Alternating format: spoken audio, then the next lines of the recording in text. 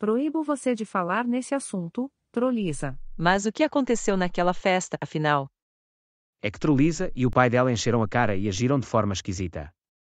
Vestiram-se de rosa, usaram chifres de rena e começaram a falar coisas sem sentido.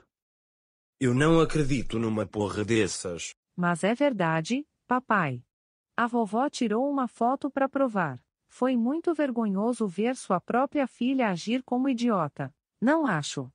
A festa estava chata.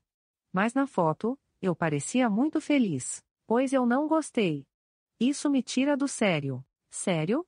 Pois eu gostaria de bancar a idiota de novo. Quer dizer que estava nos enganando para podermos entrar no buraco? Pois é. E quase consegui isso, não é mesmo? Você estava nos fazendo passar por uma situação difícil. Situação difícil quem está passando sou eu? Se eu não tivesse mentido, vocês jamais desceriam pelo fosso, não é mesmo? Pois trate de tirar o George daí agora mesmo. Não enquanto ele não achar o tesouro de Jacob muito, e é bom ele não ficar demorando. Ou ele pode ser atacado pelo monstro da privada. Porque estou com a estranha sensação de que estou sendo observado. Puxa, até que enfim encontramos sobreviventes. Ah, novamente esses dois gordos encrenqueiros. Bem, o que vocês dos IIs querem dessa vez? A senhora precisa tomar cuidado.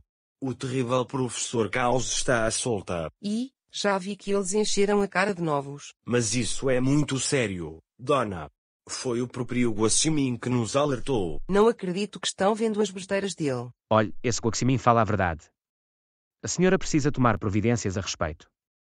Eu sei muito bem que providências tomar, e vai ser eu enchendo vocês de chineladas. Ei, que história é essa de que o senhor Anki não mora mais em Salt Park, sabe? É que de tempos pra cá, ele tem tido problemas de comportamento. E meio que expulsamos ele da cidade. Ora, como é que tiveram coragem de fazer uma coisa dessas, só porque ele era um cocô? Não precisavam tratar ele como um. Relaxe, Kel. Tenho certeza de que ele está melhor em outra cidade. Aqui diz que ele não se adaptou muito a essa cidade e voltou aos esgotos. Segundo rumores, ele se divorciou e andou namorando uma Zila.